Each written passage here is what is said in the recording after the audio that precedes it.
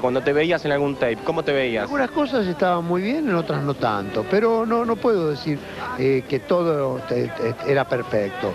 Este, pero sí, fue, fue de los trabajos que yo he hecho para televisión, es un trabajo en el que yo puedo decir que, bueno, sí, está bastante bien. Qué nochecita, Paola, ¿eh? para Montecristo. Cita, por favor. ¿Imaginabas que iba a pasar todo esto? ¿Creías que iba, les iba a ir bien, pero no tanto?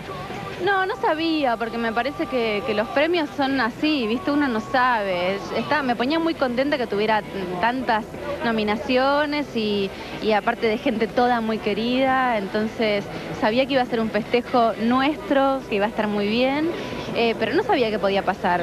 Qué nochecita, Joaquín, ¿eh? Qué nochecita redonda, ¿no?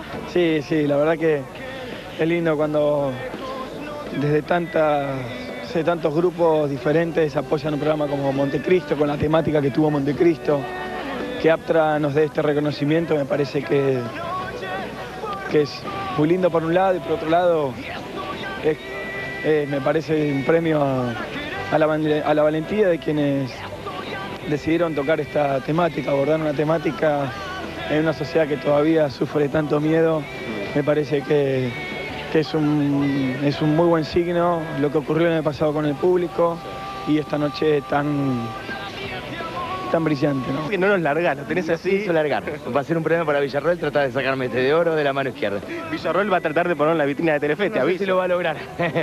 no sé si lo va a lograr. Porque está con Santiago Díaz Herrera. Vos sabés que soy un tipo muy jodido y muy vengativo. Muy jodido. Claro. Bueno, contame eh, la alegría. ¿Cuál fue el momento más emocionante de la noche? Fue emocionante para mí, perdóname que sea tan egocentrista, pero fue el mío, el, el, el de Todo el protagonista. porque, porque ya hacía tres veces que venía y, y- y me iba a la cola. Y, y bueno, es un grupo de, la verdad que es un grupo de actores muy queridos, a todos los quiero mucho y, y el haber podido llevarlos, eh, llevarlo para mi casa me parece me pone contento. Pero bueno, pero este de oro tiene un valor así como superlativo, así que, eh, ¿qué te voy a decir? O sea, donde entra el de oro los demás van a la cola. Claro. El reencuentro con todo el elenco, ese momento cómo fue, estar hablando de vuelta con cada uno después de tantos años, tantos meses compartidos No, juntos. Muy bueno, muy bueno, muy bueno, porque aparte teníamos muchas mesas acá y había muchos compañeros nominados, y había muchas Siete nominaciones. sí. Pero nos fuimos, derrapamos mucho, te digo. Vientos de agua llevó mucho, en gran ficción. Pero, pero bueno, al final... El oro quedó en casa. Parece que el oro quedó en casa y eso es lo que más feliz nos pone. En un momento te agarró un poco de cagazo, a ver si cimientos de agua se lo llevaba. Sí, sí, sí, sí. sí. Totalmente. Muy enfilado, ¿no? Vientos de agua. Y venía bien, venía bien, aparte fue una gran ficción, eh, filmada por Campanella y con una producción realmente importante. Así- eh, Viste cómo es que en esto, que, no- que en los Martín Fierro se mezcla un poco todo. Entonces, bueno, teníamos miedo. Ya Colom es la tercera vez que lo nominan y no se lo dan, ¿viste? O sea, se lo nominan con cada director también que... Pero Colom, que es un grande de las tiras, bueno, ya lo llevará la próxima. Pero bueno, pero evidentemente así todo nos dábamos cuenta que habíamos eh, calado muy hondo en la gente. Y bueno, me parece que el Martín Fierro de Oro fue por lo hondo que calamos en toda esa gente.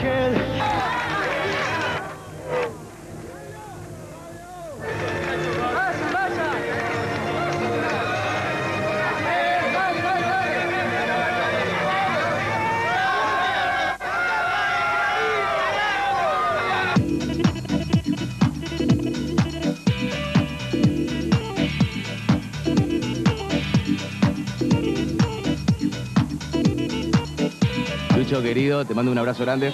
Te veo de vez en cuando, cuando paso por ahí me quedo. Un beso grande para todos.